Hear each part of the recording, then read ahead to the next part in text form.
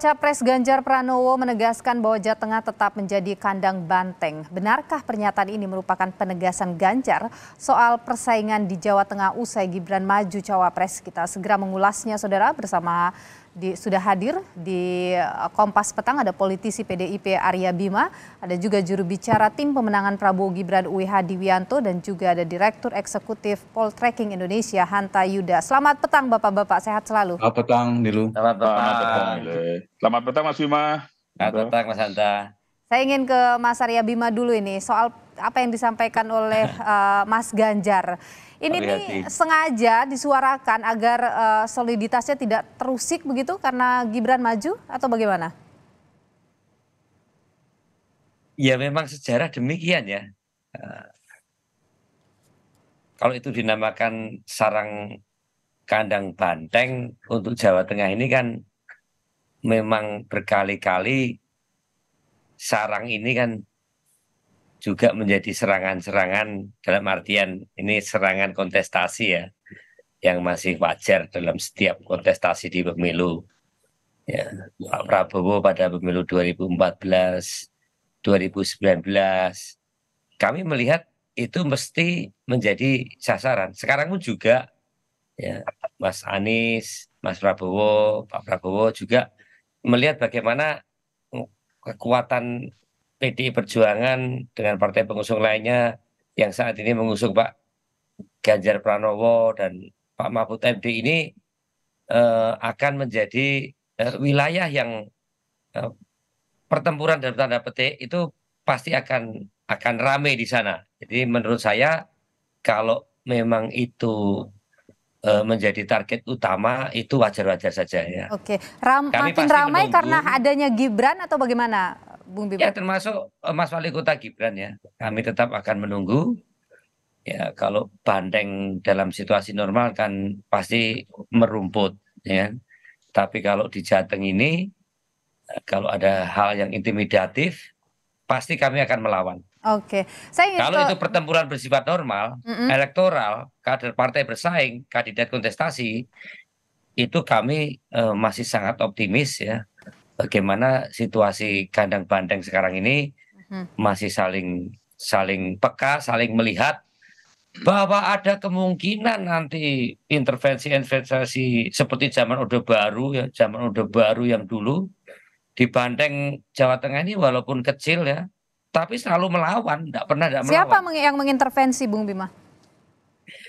Ya ini kan netralitas aparat ini kan mulai terdengar sayup-sayup di kuping bandeng ya. Tapi Ibu Mega lewat Mbak Puan selalu menyampaikan konsentrasi jangan terpancing tugasnya sosialisasi menyampaikan kepada rakyat ya, bagaimana eh, kandidat kita Pak Ganjar dan Pak Mahfud ini sampai di hati rakyat. Tapi bukan berarti kami tidak tahu hal-hal yang mulai masuk ya pola-pola gaya-gaya yang yang konservatif, okay. yang yang pola-pola model dulu ada tiga pilar ABI birokrasi.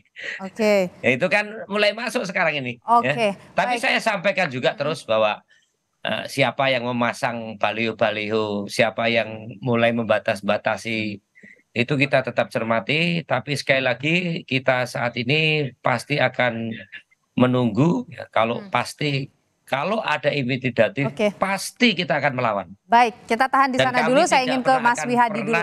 Kita tahan dulu Mas Bima. Saya ingin ke Mas Wihadi dulu. Mas Wihadi, ini Banteng percaya diri sekali PDIP bahwa ini adalah kandangnya Banteng, kekuatannya Banteng di sana. Mas Gibran juga sempat menyebutkan bahwa tidak mudah begitu kalau kita bicara Jateng. Apa yang membuat uh, Gerindra atau koalisi dari Gerindra, Golkar, uh, PAN dan Demokrat ini percaya diri bisa uh, merebut suara di Jawa Tengah? Jadi begini, kalau kita berkaca kepada 2019, memang betul uh, Pak Prabowo pada saat itu dengan Pak Jokowi adalah Pak Prabowo mencapai sekitar 22 persen pada saat itu. Memang uh, pada saat itu uh, suara dari Pak Jokowi itu uh, sangat uh, mayoritas di Jawa Tengah. Namun pada saat nanti 2024 tentunya sudah ada pergeseran di sini. Karena pemilih daripada Pak Jokowi tentunya sekarang dengan adanya wapres kami dari Mas Gibran, cawapres kami, jadi saya kira suaranya pasti akan terpecah. Nah ini kita melihat bahwa di situ adalah suatu kans yang kita bisa secara uh, secara hitung-hitungan kita melihat bahwa pasti akan ada kenaikan yang cukup signifikan. Okay. Dan ditambah lagi pada saat ini kalau kita melihat bahwa dari DPT itu ada sekitar generasi Gen Z itu 30 persen, ya kan? Dan kemudian pemilih yang juga eh, milenial itu ada 20 persen, artinya ada 50 persen. Nah, representasi daripada Mas Gibran tentunya ini akan mempengaruhi juga pilihan daripada Gen Z. Jadi inilah kami berharap bahwa apa yang dikhawatirkan oleh Mas Bima tadi bahwa mengenai masalah hal-hal yang mungkin di luar daripada konstelasi. Tapi kami kita bicara hitung-hitungan dan kita bicara mengenai masalah okay. proyeksi dan kemudian kita uh, kita ada pertempuran di Jawa Tengah uh, dengan yang disampaikan oleh Mas Gibran bahwa memang tidak tidak tidak gampang. Tapi hitung-hitungan kami ada hitung-hitungan yang kira kita melihat bahwa ada kans bahwa kita akan menambah suara di situ. Jadi percaya diri begitu ya untuk bisa meraih simpati masyarakat Jateng gitu. Ya saya kira ini percaya diri karena kita kita bicara program, okay. kita bicara program dan kemudian juga bicara mengenai masalah uh, Mas Gibran yang di Jawa Tengah yang cukup populer. Saya kira inilah sesuatu hal yang normal kita lihat bahwa pemilih tentunya akan memilih di mana yang mereka kenal pada saat itu. Jadi saya kira apa yang dilakukan oleh Mas Gibran pada saat ini dengan uh, sebagai wakil daripada generasi muda, saya kira itu memengaruhi juga pemilih-pemilih di Jawa Tengah nantinya. Okay. Jadi saya kira ini adalah sesuatu hal yang kalau kita bicara hitung-hitungan mengenai masalah uh, battlefieldnya yang di Jawa Tengah. Baik, saya ingin ke Mas Hanta Yuda dulu. Kalau Anda uh, sendiri bagaimana melihat hitung-hitungan elektoral, uh, elektoralnya antara Ganjar uh, versus Prabowo di Jawa Tengah? Nilu, jadi penyematan gelar kandang banteng di Jawa Tengah ini sebenarnya uh, saya kira memang kuat ya karena dua hal, dua kekuatan besar di Jawa Tengah itu menyatu di 2019. Dua kekuatan itu duet maut saya silakan. Satu ada kekuatan mesin politik PD Perjuangan, partainya sangat kokoh di sana, uh, selalu memenangkan pertarungan uh, pemilu legislatif, kemudian berduet maut dengan kekuatan magnet uh, figur pesona Jokowi pada saat itu. Dan puncaknya di 2002, 2019 yang lalu, Pilpres dimenangkan dengan sangat uh, mutlak ya, 77,26 persen, sekitar dua kisarannya sangat tinggi sekali berapa uh, juta ya sangat tinggi kalau dikonversi ke suara itu hampir uh, sangat tinggi sekali 14 yeah. sampai 15 persen pemilih di Indonesia ada di sana. Nah itulah yang menyebabkan saya kira kekuatan PD Perjuangan dan pilpresnya menang cukup telak di sana. Nah tetapi di 2024 mendatang Nilu kedua kekuatan besar ini berpisah jalan. Itu yang harus menjadi catatan. Bahkan sekarang berhadap-hadapan potensinya. Tadi dari dua sahabat kita, dua politisi juga sudah siap tentu dengan berbagai macam strategi dan seterusnya. Tentu kita dalam koridor demokrasi. Nah, poin saya kemungkinan besar Jawa Tengah berpotensi terbelah menjadi dua kekuatan ini. Jadi secara elektoral dia berpotensi. Betul ada potensi menurut saya Mas Ganjar mungkin akan menang di Jawa Tengah tapi sulit untuk menang setebal seperti okay. Pak Jokowi di 2019 yang lalu yang sampai 77 persen. Jadi uh, marginnya mungkin akan mendekat.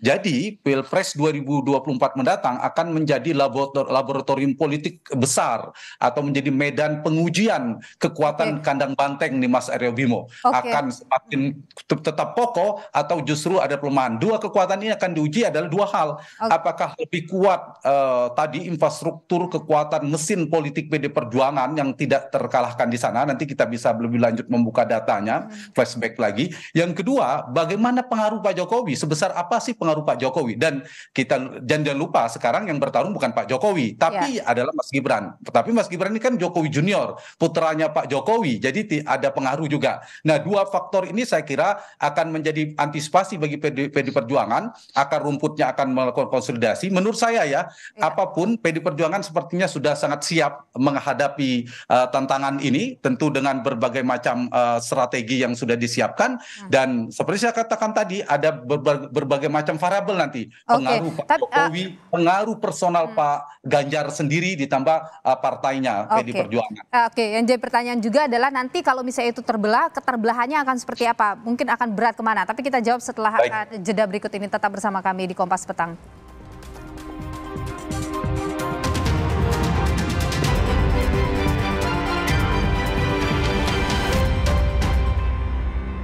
Kita lanjutkan ke perbincangan kita sore hari ini, Saudara. Masih bersama saya Arya Bima, politisi PDIP, Wihadi Wianto, jubir tim pemenangan Prabowo Gibran dan juga uh, Bung Hanta Yuda, Direktur Eksekutif Poltreking Indonesia. Tadi uh, Mas Hanta sempat menyebut soal ada potensi keterbelahan di Jawa Tengah. Saya ke Mas Bima dulu. Mas Bima, kalau uh, melihat potensi ada keterbelahan, pasti uh, Pak Hasto juga tadi menyebut ya soal uh, Gibran sudah mundur begitu dari uh, sudah pamit dari PDI Perjuangan. Nah, pasti saya yakin PDIP tentu sudah punya hitung-hitungan juga soal ini. Seperti apa Mas Bima? Oh iya. Yang menyatukan itu kan kenapa disebut idiom kandang banteng yang selalu siap hmm. merumput maupun bertarung karena kan soal konsistensi ya. Idiom itu muncul karena penyebabnya soal uh, konsistensi sampai muncul berbagai hal yang menyangkut konsistensi itu terwujud tidak ada pernyataan saking sikap-sikap pembelaan dan saya melihat bahwa Pak Ganjar Pranowo di Jatang itu cukup mendapatkan legitimasi yang sangat kuat apalagi tren membawa Pak Mahfud MD itu juga mempunyai satu segmented masyarakat yang saat ini butuh betul-betul orang yang komit terhadap penegakan hukum, ya, yang betul-betul komit terhadap penegakan hukum dalam artian pemberantasan korupsi. Hmm.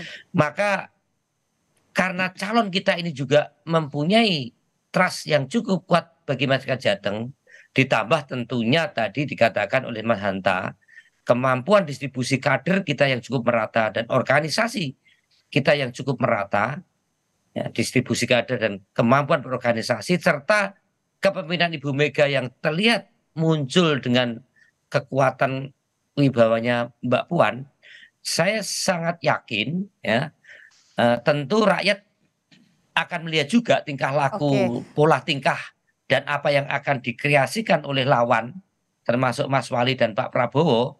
Di situlah kita tetap yakin hal-hal yang terkait dengan persoalan uh, Medan Jateng ini uh, menjadikan uh, target lawan, tapi juga kami mempunyai kehendak subjektif untuk tetap meningkatkan Jadi Anda yakin tidak ada keterbelahan mungkin di uh, Jawa Tengah karena ini? Begini, kalau Mas Gibran ini kan tadi disampaikan Mas Yuda itu kan intersection dari uh, okay. image Pak Jokowi ya dan Pak Jokowi memang uh, selama diusung oleh PDI Perjuangan menjadi presiden 10 10 tahun dua dua periode ini kan memang nawacita banteng narasi okay. besar NKRI smart nasionalisme demokratik dan nggak bisa kemudian diambil alih oleh seorang mohon maaf Pak Prabowo Subianto atau Mas Gibran sendiri mungkin Mas Gibran okay. juga nggak begitu paham soal soal narasi besar Pak Jokowi dan kami melihat okay. bahwa kewibawaan Pak Jokowi di sini dalam konteks 10 tahun atau 9 tahun pemerintah ini itu intersectionnya tidak bisa disimbolisasi oleh Mas Gibran tapi sangat disimbolisasi oleh kekuatan kolektif Oke, partai baik. itu PDI Perjuangan. Saya, saya tahan di sana. Saya ke Mas uh, Wihadi. Mas Wihadi, kalau Anda sendiri tadi uh, 2019 20 persen begitu, ini kalau dihitung-hitungan sekarang bisa dapat berapa tuh di Jawa Tengah? Ya, kalau hitung-hitungannya dengan kalau kita melihat dari modal yang sudah didapatkan dari tahun 2019 itu suara Pak Prabowo adalah 22 sekian persen karena kan pada saat itu PDI Pak Jokowi memenangkan sekitar 70 persen lebih.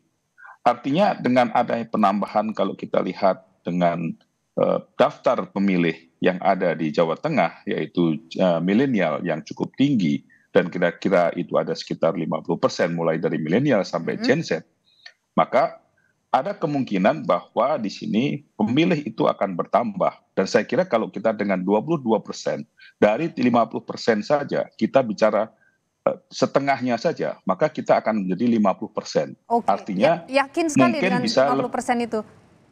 Ya, saya kira ini adalah uh, hitung-hitungan kalau kita besarkan uh, bisa berdasarkan dari data-data pemilih dan kemungkinan bagaimana Mas Gibran mempunyai satu Eh, relawan dan juga bagaimana Mas Gibran menjadi representasi dari generasi muda dan saya kira ini suatu hal yang hitung-hitungan yang kita tidak asal mengatakan bahwa ah. akan memenangkan tetapi ada hitung-hitungan yang kita lihat bahwa ada potensi suara ah. yang akan beralih kepada okay. Mas Gibran kalau, dan penambahan suara dari Pak Prabowo. Kalau tadi disebut oleh Mas Bima misalnya bahwa uh, ya bagaimanapun kalau kita bicara Jawa Tengah uh, kesuksesan dari Pak Jokowi tidak bisa uh, kemudian diturunkan bahwa ini nanti bisa oleh Gibran dengan cara yang sama juga tapi itu udah PDIP begitu karena ini adalah wilayahnya PDIP bagaimana kepercayaan diri Anda atau dari tim pemenangan Gerindra dan juga uh, koalisinya bisa meraih 50% tadi yang Anda sebutkan itu?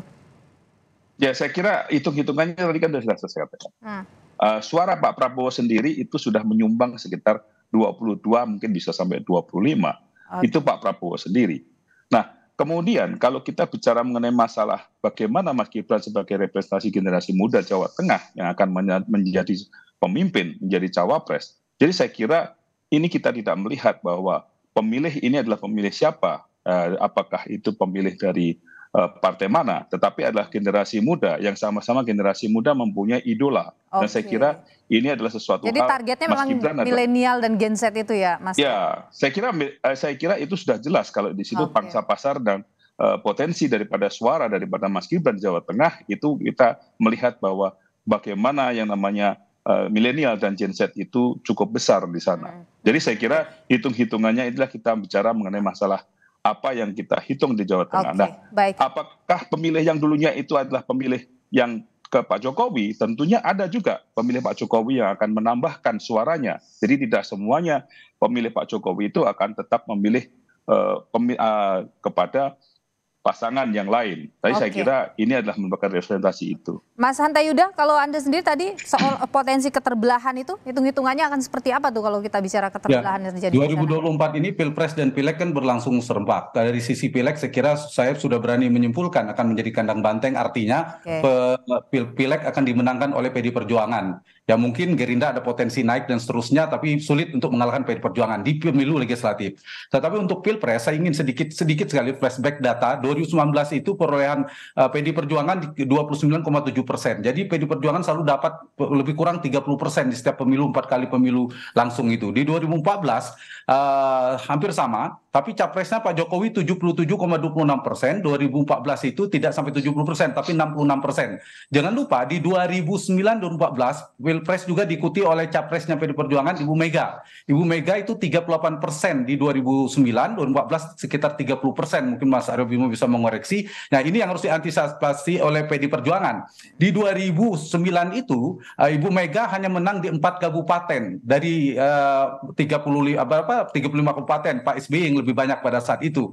Sehingga wilayah-wilayah Pantura yang terutama kabupaten yang dimenangkan oleh Ibu Mega, sementara di Solo Raya, wilayah Jawa Tengah Selatan itu sekarang banyak dikuasai oleh Pak Jokowi. Nah, poin saya adalah ini yang saya katakan akan ada dua kekuatan yang saling tarik menarik eh, kekuatannya meskipun tadi kesimpulan sementara saya tetap Mas Ganjar yang unggul, tapi unggul untuk tebalnya itu agak sulit. Nah, tergantung pada ini kan kandang banteng kalau kita analogikan pemilihnya tergantung pada kekuatan figur yang menggerakkan banteng-bantengnya ini nah dugaan saya kesimpulan saya sementara saya banteng ini akan terbelah dalam dua kandang besar nanti tergantung nanti kandang yang mana lebih besar. Sementara kalau saya lihat masih Mas Ganjar kisarannya kalau data per hari ini Mas Ganjar masih di atas 50% meskipun tidak sampai 60% ya di data survei terakhir di Pak Prabowo Gibran itu di angka 22 sampai 25% kisarannya. Tapi ter survei terakhir kami di 27%. Artinya separuhnya. Uh, masih jauh memang, tapi paling tidak ada tingkat pertumbuhan potensi yang saya kira menjadi potensi bagi pasangan Prabowo Gibran, tapi di saat yang sama menjadi antisipasi bagi pasangan uh, uh, Mas Ganjar dan Pak Mahfud. Jadi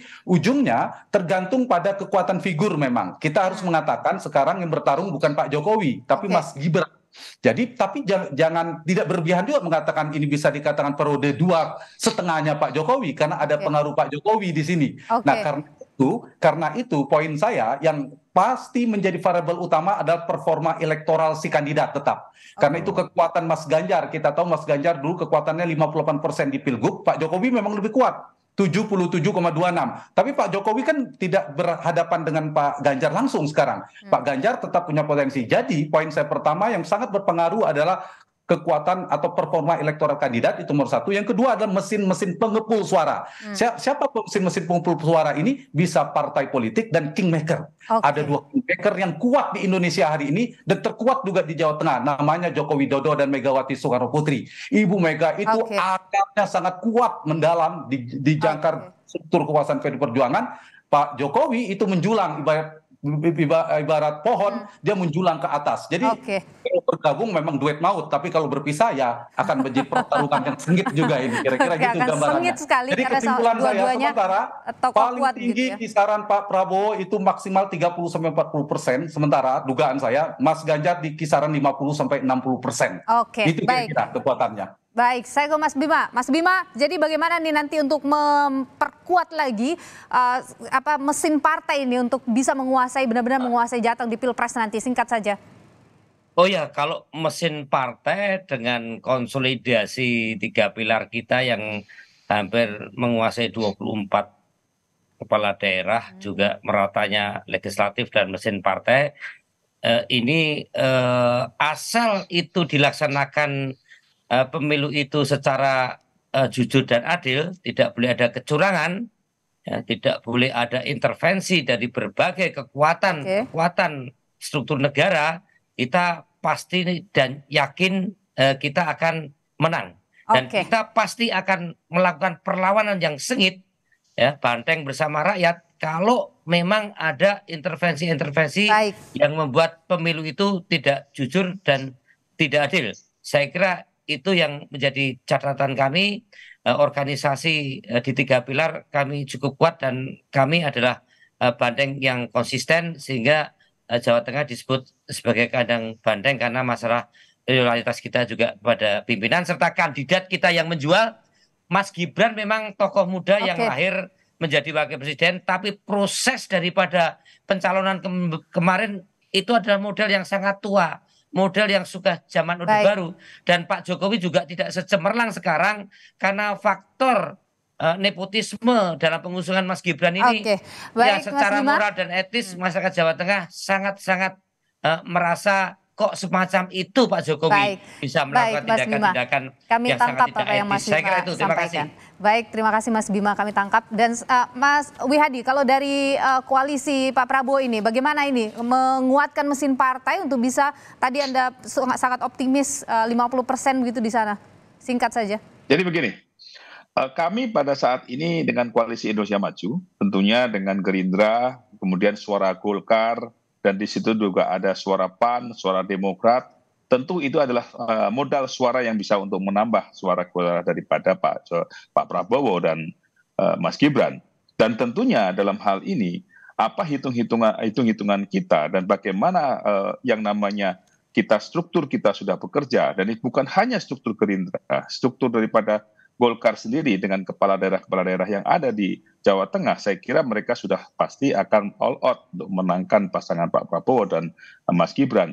Dan tentunya hal ini ditambah lagi dengan adanya bagaimana relawan-relawan yang ada di Jawa Tengah yang akan mendukung Mas Gibran dan relawan itu akan sangat solid untuk menambah suara. Jadi saya kira apa yang menjadi keoptimisan kita di Jawa Tengah itu adalah bukan tidak berdasar, tetapi karena kami adalah dengan koalisi yang ada inilah hmm. koalisi yang mempunyai dukungan daripada partai-partai politik Baik. yang memang sudah juga uh, perhitungan suaranya di Jawa Tengah itu bukanlah sesuatu hal yang kosong. Mereka mempunyai kontribusi yang cukup okay. banyak pada koalisi Indonesia Maju. Baik, Mas Hanta terakhir singkat saja Mas Hanta. Jadi yang paling penting sekarang menguatkan tokohnya atau menguatkan mesin partainya untuk merebut suara di Jawa Tengah. Khusus Jawa Tengah sama pentingnya sama pentingnya. Tapi okay. tetap karena ini pilpres pilihannya tetap ke kandidat. Jadi saling disambungkan. Uh, banteng istilah kandang banteng istilah saya tergantung pada pengaruh si penggerak yang menarik uh, ke kandangnya masing-masing. Okay. Misalnya gini, data data survei terakhir Mas Ganjar di kisaran 55 persen. Nah, separuhnya Pak Prabowo uh, Gibran itu di 27 persen. Artinya kan tidak begitu jauh. Tapi jangan lupa ada pengepul atau kingmaker kekuatan partainya PD Perjuangan itu sekarang sulit untuk mengalahkannya. 30 persen lah paling buruk perolehannya. Baik. Tapi jangan lupa, purple rating tingkat kepuasan Pak Jokowi di Jawa Tengah itu, Mas Aryo Bimo paham betul, tertinggi di seluruh Indonesia. Hmm. Pak ya dia sekitar sembilan puluh persen.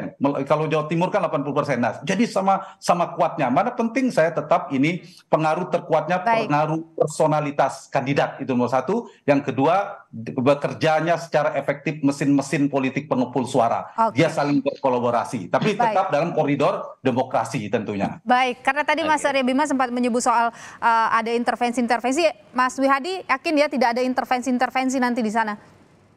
Saya kira hitung-hitungan kita kan hitung-hitungan yang berdasarkan angka dan bagaimana okay. uh, ke depannya bahwa kita mempunyai program-program uh, yang sebenarnya tidak ada jelas. intervensi ya Mas ya. Ada, saya kira tidak ada intervensi Baik, itu. Terima saya. kasih, Mas ya. Wiha Diwianto, ya. juru bicara tim pemenangan ya, Prabowo Gibran, Mas Arya Bima, politisi PDIP, dan 10 persen luar biasa Mas Hanta Yuda, Direktur Eksekutif Poltreking Indonesia. Bapak-bapak, terima kasih sudah berbagi pandangan di Kompas Petang. Sehat selalu. Sehat selalu. Terima kasih. Terima kasih. Mas Wiyadi, Mas Hanta.